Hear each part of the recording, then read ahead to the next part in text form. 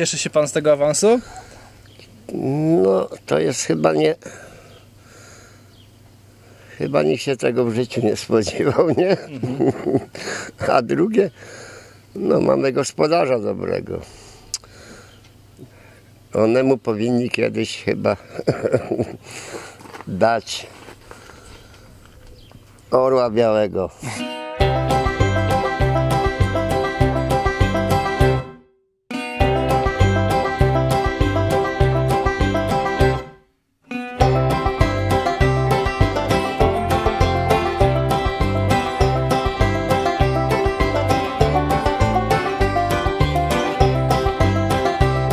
Sukces Termaliki to jest e, przede wszystkim e, zasługa małżeństwa państwa Witkowskich, czyli generalnego sponsora i właściciela klubu firmy, firmy Brookbet, która zainwestowała duże pieniądze i wymyśliła sobie, że z malutkiego klubiku zrobi, zrobi, zrobi po prostu większą, większą markę. W latach 80., ilekroć tam zwróciliśmy się o pomoc do, do państwa witkowskich, zawsze e, po prostu nie odmawiali, zawsze wyciągali do nas rękę i, i jak gdyby e, zawsze nas wspierali. No i tak to trwa do dzisiejszego dnia, z tym, że no, w innych rozmiarach.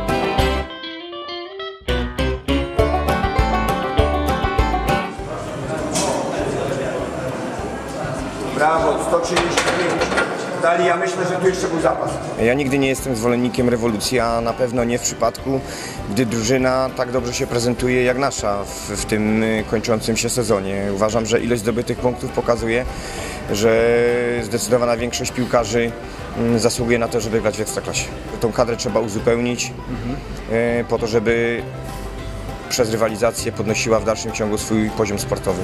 Były takie momenty niepewności, bo wiadomo, no, znowu się gdzieś tam pojawiło, że może się znowu nie uda. Wiadomo, jakie były też komentarze w Polsce, że, że Termanika odpuszcza, nie chce awansować. E, były momenty, że właśnie, że wiadomo, reagował trener. Od meczu z Miedzią zaczęliśmy tą dobrą serię, no i, no i 8, 8 zwycięstw z rzędu to, to jest super, super seria. Przeszłości. Już mieliśmy małe kluby z małych miasteczek, jak chociażby Amika Wronki czy Grodzisk Wielkopolski e, i, te kluby nieźle też sobie radziły do pewnego czasu w, w Ekstraklasie. Zobaczymy jak będzie z Termaliką. E, Państwo witkowscy zapewniają, że chcą zrobić e, coś dużego, że też chcą podobnie jak Groklin i e, Amika w przeszłości e, grać w europejskich pucharach. Czy im się to uda, to, to zobaczymy. Widok jest dość, dość zabawny o tyle, że, że wjeżdża się do, do tej miejscowości i, i jedzie się w zasadzie pośród ogromnych pól hektarów, w zasadzie pól kukurydzy i nagle, nagle wjeżdżamy w, w miejsce, gdzie jest, gdzie jest stadion, te niepozorne trybuny, y, wszystko powiedzmy, może nie pachnące prowizorką, bo, bo, bo, bo to jest może za duże, duże słowo, ale, ale jeszcze chyba nie, nie nadające się na, na ekstraklasę.